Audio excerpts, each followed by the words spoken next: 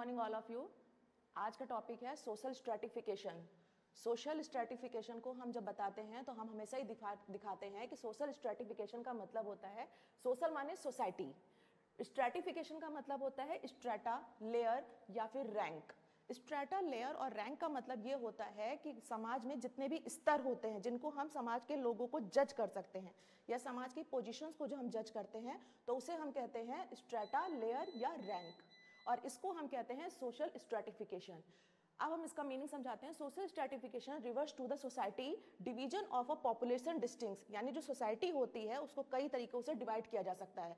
जैसे पॉपुलेशन को अगर हम डिवाइड करें ग्रुप्स में हम डिवाइड कर सकते हैं. उसके फैक्टर्स को अगर हम देखें तो बहुत बहुत सारे फैक्टर्स हैं. जैसे वेल्थ है इनकम है ऑक्यूपेशन है एजुकेशन है एंड सोशल स्टेटस है. ठीक? सोशल स्टेटस है. इसलिए जब भी हम किसी भी व्यक्ति को, चाहे फिर वो एज के फैक्टर से नापें, चाहे हम धन के फैक्टर से नापें, चाहे हम प्रॉपर्टी के फैक्टर से नापें तो हम हमेशा ही कह सकते हैं कि उसको हम बोलते हैं सोशल स्ट्रेटिफिकेशन सोशल स्ट्रेटिफिकेशन को समझने के लिए सबसे अच्छा तरीका होता है कि उसके बेसिस को हम समझें। तो हम इस तरीके से समाज को दो भागों में डिवाइड कर सकते हैं, यानी समाज के स्ट्रेटिफिकेशन को समझने के लिए, स्तर को समझने के लिए हम दो तरीके अपनाते हैं। एक, जो कि हम कहते हैं बायोलॉजिकल बेसिस बायोलॉजिकल बेसिस का मतलब होता है जैविकी। जैविकी का मतलब जो नेचुरल चीज़ें हैं, जिनको हम कभी भी जज चेंज नहीं कर सकते, लेकिन उसके आधार पर हम जज कर सकते हैं। जैसे किसी भी समाज में हम जाते हैं, किसी भी परिवार में हम जाते हैं तो हमेशा हम देखते हैं कि लोग हमें मिलते हैं मेल फीमेल लेकिन सबसे पहले आती है उनकी एज एज का मतलब उनकी आयु, जैसे सीनियर और जूनियर यहाँ पे भी स्ट्रेटिफिकेशन है। एक को हम बहुत ज़्यादा रिस्पेक्ट देते हैं और दूसरे को हम नॉर्मल यानी जनरल कैटेगरी में रखते हैं।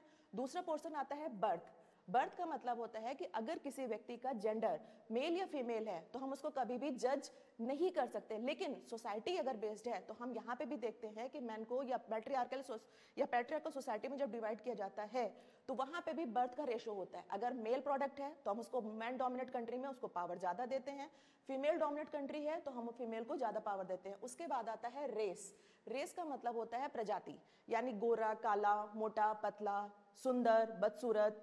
तीसरा, चौथा चीज़ जो आती है फ़िज़िकल या मेंटल एबिलिटी कोई बच्चा पैदाइशी बहुत अच्छा हो जाता है, उसका ग्रोन अप बहुत अच्छा हो जाता है। कुछ बच्चे का फ़िज़िकल तो अच्छा नहीं होता, मगर उसका जो मेंटल एबिलिटी है वो बहुत अच्छी हो जाती है। इसका मतलब ये है कि वो बच्चा बहुत जल्दी चीज़ों को लर्न कर लेता है, बहुत ज़्यादा ना पढ़ने के बावजूद उसको बहुत जल्दी जल्दी समझ में आ जाती हैं। तो यहाँ पे जो बेसिक कॉन्सेप्ट हम निकालते हैं, वो होता है बायोलॉजिकल बेस जिसमें हम पॉइंट रखते हैं age birth race and physical या मेंटल एबिलिटी दूसरा जो सामाजिक स्तर आता है, उसमें जो हम बताते हैं, उसमें हम ये कहते हैं कि socio cultural basis socio cultural basis का मतलब ये होता है कि हर कोई बच्चा हमेशा ही पैदाइशी अमीर नहीं होता, हमेशा ही पैदाइशी गरीब नहीं होता। वहाँ पे क्या इफ़ेक्ट करता है? इफ़ेक्ट करता है हमारी प्रॉपर्टी कि हमारे पास अगर हम राजा के बेटे हैं तो हम राजा बनेंगे। ऐसा ज़रूरी नहीं है, लेकिन लोग हमको जज इसी तरीके से करते हैं, जिसको हम कहते हैं socio culture basis number one इसमें आता है प्रॉपर्टी नंबर टू आता है ऑक्यूपेशन आज भी समाज में अगर हम देखें स्ट्रेटिफिकेशन को तो कुछ ऐसे व्यवसाय हैं। फॉर एग्ज़ाम्पल अगर हम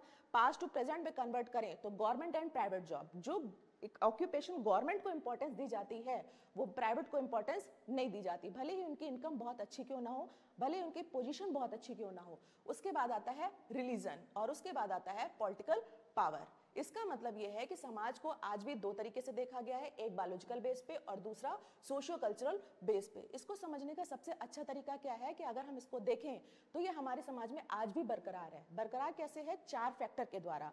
नंबर वन जब प्रिमिटिव सोसाइटी से लेकर के अगर हम मॉडर्न सोसाइटी को कन्वर्ट करते हैं तो चार फॉर्म्स मिलते हैं। नंबर वन आता है स्लैवरी स्लैवरी जो होती है, उसको हम कहते हैं दास। दास का मतलब होता है बेस ऑफ़ इकोनॉमिक कंडीशंस यानी वो इकोनॉमिक में बेस होता है। अगर किसी के पास बहुत अच्छा पैसा है तो हम किसी को भी गुलाम रख सकते हैं, बात कर सकते हैं दासा तो बना सकते हैं। तो इसको हम कहते हैं in the slavery every slave है द मास्टर यानी जो भी एक स्लैब है, उसके ऊपर एक काम जो करने वाला व्यक्ति है, वो होता है मास्टर यानी अगर हम देखें मजदूरों का ग्रुप तो उनमें भी एक लीडर होता है। जो लीडर होता है, उसको हम हायर पोजिशन देते हैं और जो लीडर नहीं होता, उसके अंडर में जो काम करते हैं, उसको हम कहते हैं स्लैवरी ग्रुप या फिर स्लैब्स पॉइंट नंबर टू अगर हम देखें तो उसे हम कहते हैं स्टेट स्टेट का मतलब होता है, ये मिडवल यूरोप से आया।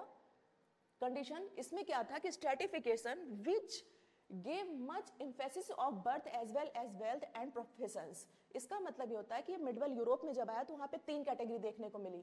सबसे पहले जो कैटेगरी देखने को मिली वो थी बर्थ दूसरी जो कैटेगरी देखने को मिली वो थी वेल्थ और तीसरी जो कैटेगरी देखने को मिली वो थी पोजिशंस इसके बाद आता है आपका मेन पॉइंट जिसको हम कहते हैं कास्ट। आज भी सोसाइटी में हेरिडिटी इंडोगैमस है, यानी कितना भी हम सोसाइटी में चेंजिंग कर लें, लेकिन आज भी हमारे अंदर किसी के नाम से ज़्यादा, उसके सरनेम को जो जानने की इच्छा होती है, उसका मतलब होता है हेरिडिटी इंडोगैमस इसको कहते हैं हम कास्ट, और कास्ट में भी आज भी हमारे समाज में कैसा सिस्टम है?